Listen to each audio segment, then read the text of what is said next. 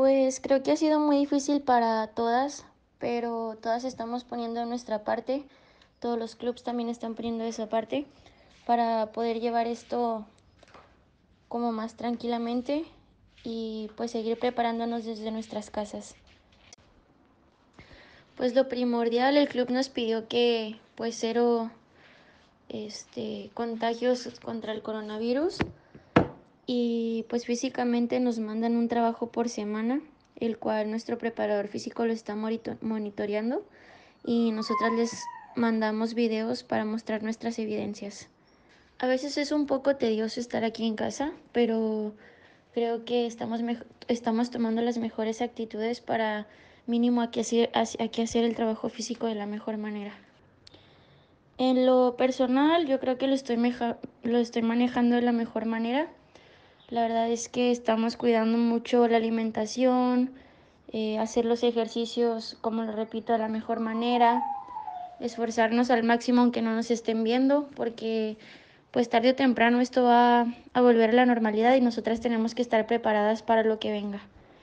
Nos encontramos pues cuidando el sueño, la alimentación, y pues haciendo todos los ejercicios que nos corresponden, más cada quien yo creo que está haciendo cosas extras que nos ayuden a mantener nuestro rendimiento en esta cuarentena.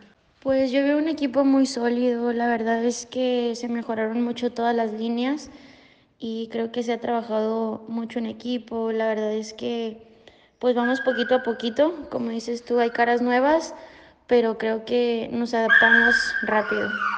Pues la verdad estoy muy feliz de volverlas a ver, de volver a compartir cancha con ellas y pues creo que siempre se hacen las mejores amistades en el fútbol.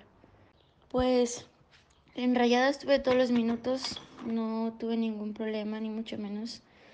En América pues yo creo que todo es por gustos y más que nada pues uno tiene que respetar las decisiones del el entrenador.